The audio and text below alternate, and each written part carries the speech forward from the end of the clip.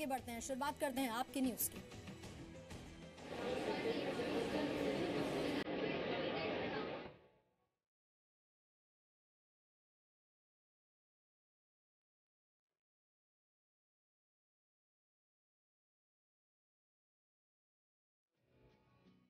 कामयाबी की भविष्यवाणी का मास्टर प्लान।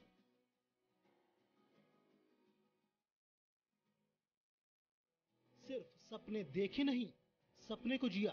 मेरे मम्मी पापा मेरे बहुत साथ दिए। शरीर ने की बगावत लेकिन दिमाग ने निभाया साथ।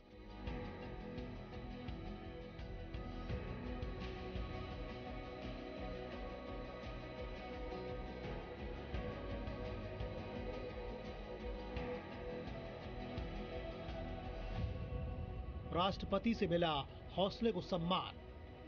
उसको तो जितने सैल्यूट किए जाएँ जितने उसको हेड्स ऑफ़ दिए जाएँ। वो कम है। दस फ़ीसदी हुनर सौ फ़ीसदी सफलता। मैं तो ideal international scientist Stephen William Hawking को मानता हूँ। साइंटिस्ट तुम ही हो कल के।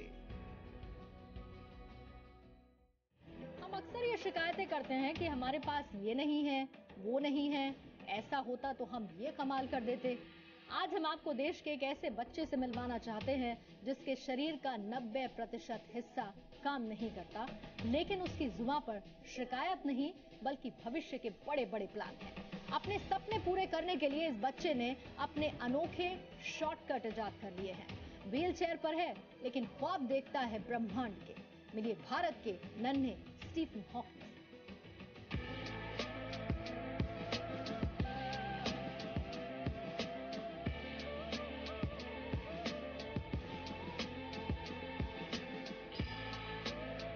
ब्रह्मांड को और करीब से देखने का, उससे जुड़े रहस्यों को सुलझाने का ख्वाब हमेशा से ही देखा गया है। बड़े बड़े साइंटिस्ट और ब्रह्मांड से जुड़ी पहेलियों को सुलझाने में जुटे रहते हैं।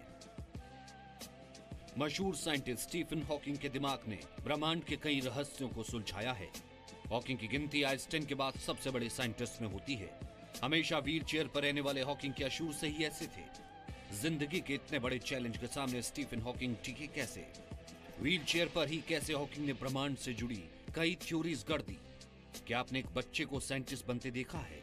आज हम आपको देश के नन्हे स्टीफन हॉकिंग से मिलवाएँगे, जो आपको ये बताएगा कि कामयाबी की भविष्यवाणी कैसे की जाती है। मुँह में पेन पकड़े तुहिन, टीचर का पढ़ाया, कॉपी पर लिखने की कोशिश कर रहा है। तुहिन ऐसा जानबूझकर नहीं कर रहा। क्लास में नोट्स लेने के लिए तुहिन के पास यही तरीका है। सत्रह साल के तुहिन का अपने शरीर पर बस दस प्रतिशत काबू है। तुहिन का नब्बे फ़ीसदी हिस्सा उसकी बात नहीं मानता। एक ऐसी लाइलाज बीमारी जिससे शरीर के अंग दिमाग के भेजे सिग्नल समझते नहीं है। तुहिन का नब्बे फ़ीसदी शरीर काम नहीं करता। तुहिन ने दसवीं के इम्तिहान बिना किसी की मदद के खुद लिखे। वो भी बिना एक्स्ट्रा टाइम लिए। अब तुहिन को बेसब्री से रिज़ल्ट का इंतज़ार है।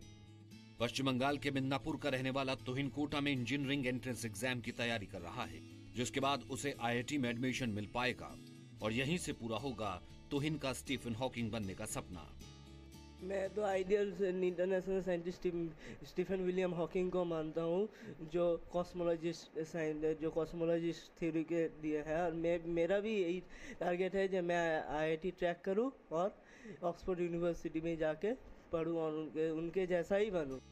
तुहिन डे का जन्म 1999 में हुआ। जन्म से लेकर अब तक तुहिन की 20 सर्जरी हो चुकी हैं। तुहिन को जन्म से ही आर्थोग्रोपोसिस मल्टीप्लेक्स कंगनीशिया नाम का डिसऑर्डर है। डॉक्टर्स के मुताबिक इस बीमारी में जॉइंट्स काम नहीं करते। फ़िलहाल डॉक्टर्स के पास तुहिन की बीमारी का कोई इलाज नहीं है। लेकिन डॉक्टर्स ये भी कहते हैं कि तुहिन का दिमाग काफ़ी तेज है। तुहिन को 2012 में अपने इसी जज्बे के लिए नेशनल चाइल्ड का अवार्ड मिल चुका है। साथ ही 2013 में राष्ट्रपति प्रणब मुखर्जी से दिव्यांग कैटेगरी में बेस्ट क्रिएटिव चाइल्ड का अवार्ड भी तुहिन को मिला। ज़िंदगी ने तुहिन को हार मानने की कई वजह थी, लेकिन हमेशा तुहिन ने हौसलों को चुना और तुहिन इसका श्रेय अपने मम्मी पापा को देता है। मेरे मम्मी पापा, मेरे बहुत साथ दिए मेरे जो जो काम करना था, मेरे जो जो परेशानी मेरे होती थी उनमें मेरे मम्मी पापा साथ बहुत, मेरे बहुत मदद करते हैं। स्कूल में भी मेरे टीचर्स फ्रेंड्स उन लोग मेरे लिखने का से कोई समझ में नहीं आया तो उन लोग भी मेरे बहुत साथ देते हैं। सुजाता और समिरन ने हमेशा तुहिन को खास समझा। तुहिन कभी खुद को किसी से कम न समझे। इसके लिए मम्मी पापा दीवार की तरह खड़े रहे। यहाँ तक कि सुजाता और समिरन ने तुहिन के बाद दूसरे बच्चे के बारे में सोचा ही नहीं। पूरा ध्यान और पूरी ताकत सिर्फ़ और सिर्फ़ तुहिन के लिए। सुजाता शिक्षा विभाग में अपनी सरकारी नौकरी छोड़ चुकी है।